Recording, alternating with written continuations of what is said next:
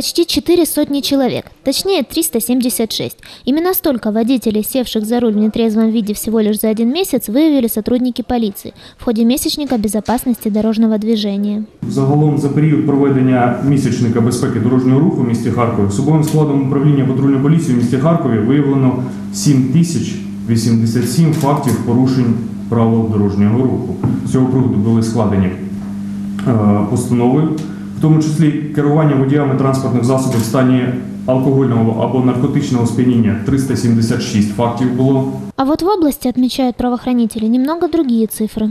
было выявлено и задокументировано 1750 э, нарушений правил дорожного движения, из которых э, 168 – это управление транспортным средством в состоянии алкогольного опьянения. Массовая проверка на дорогах Харькова проводилась с 12 августа по 12 сентября.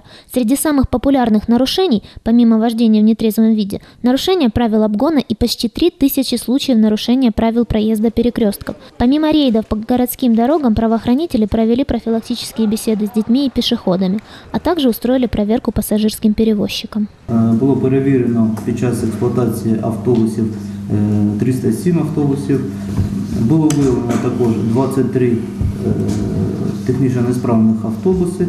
Е, Відповідно були складені е, постанови на за порушення цих вимог. Та також було виявлено 8 правопору... адміністративних правопорушень за, перевез... за порушення правил перевезення пасажирів После подведения итогов полиция обещает продолжить профилактику правонарушений на дорогах. Особое внимание планирует уделить детям. Александра Новосел, Михаил Воронков, агентство телевидения «Новости».